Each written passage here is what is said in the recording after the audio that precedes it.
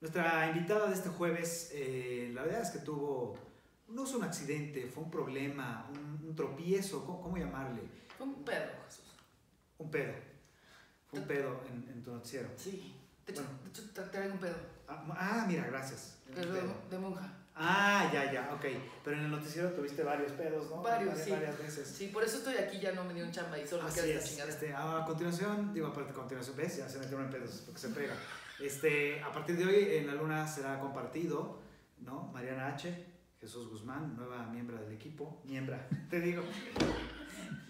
¿Sabes qué? No, nada más platiquemos este jueves y, y a ver qué pasa. Ok, no se lo pierdan, es una, una finísima persona. Dos Yo también. Dos iletrados aquí este, el jueves.